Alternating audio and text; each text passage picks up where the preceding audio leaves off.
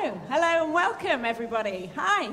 We've uh, we've just been told that actually the meeting can start now, so that's great. So I'm Maya Bugge. I come from Norway and I play the cello. Uh, I'm Sarah Nicolls. I'm a pianist and I'm also the inventor of the Inside Out piano, which is this beautiful thing you can see behind us.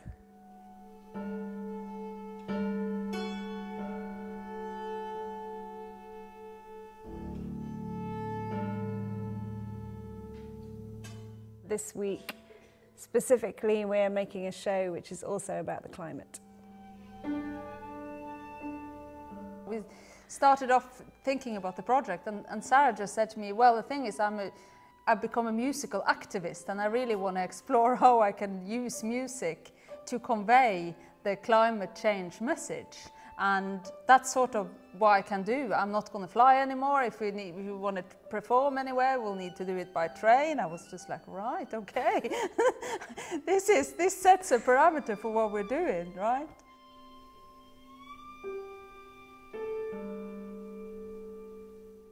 I, I think it's like two streams, isn't it, really? One is uh, the framing. So, how are we going to talk about this issue to the audience? How are we going to involve them? And then the second stream is making music together.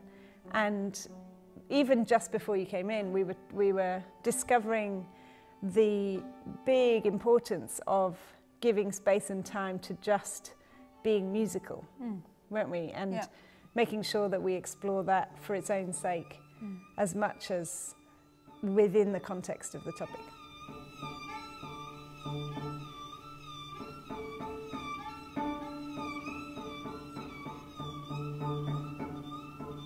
As soon as we've played the first piece, I was like, oh, I've just been trying to play the cello on the piano. Because on the piano, I do like, it's designed like this so I can play on the strings. That's exactly why I built it. And, you know, I do loads of stuff like harmonics, pizzicato, like ricochet type things with balls, which is just like spiccato. And it's just really amazing. So we played the first piece and it was like, oh, don't they sound good together? And we kept doing like, things where it was so similar sounding. And, and at one point, like during the recording, we listened back and we were like, who's, who's doing what? yeah.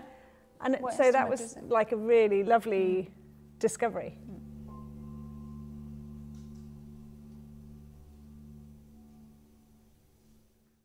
In one of the interviews that I did uh, in preparation for this residency, I talked to uh, an old activist who just said the first thing we did was call a public meeting. And in our rehearsal, once he had said that, we were just like, well, that's what we'll do. We'll frame it as a meeting. So we are just getting the audience in and they're in a meeting. It's a public meeting and there's an agenda and, and it's urgent because we're discussing climate change.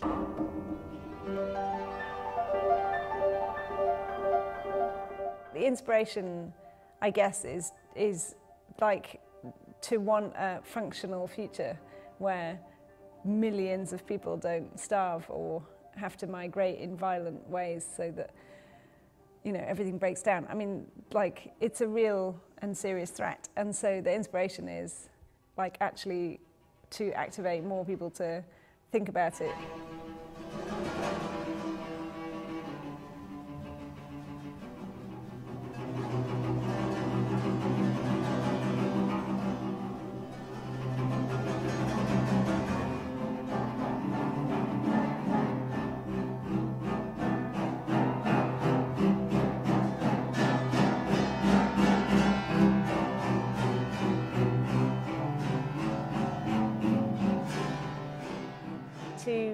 have come here across like a lifetime essentially, or hopefully half a lifetime, right?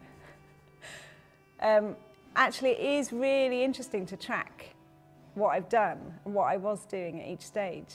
Like being a child in a youth orchestra, um, being uh, at a conservatoire and coming as a like student, and then getting more and more into new music, but doing lots of composing work, coming with peers, you know, composers who were same age as me, lots of that. And then gradually moving into technology, media, electronics, and then sort of becoming a teacher, teaching other young children who were sort of the age when I first came, and now really totally following like a, a unique, like a, an artistic path that feels authentic, you know, to me and to you. So I think that that's quite a nice mm. trajectory to be able to kind of look back on.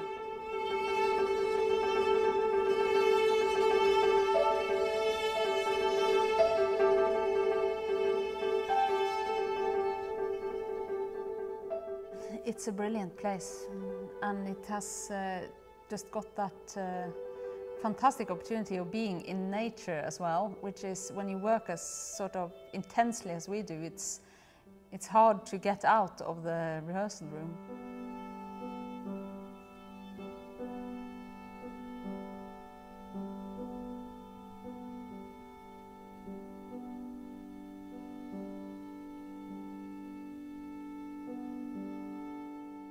That is such a powerful thing for institutions to remember and to hold on to, that even when people are quite established, that actually the opportunity to take risk is so important and the opportunity to take risk in a collaboration is actually impossible in any other situation. Like if we had to go to each other's houses to do the same thing, there'd just be massive interruption and it wouldn't be this kind of cocoon.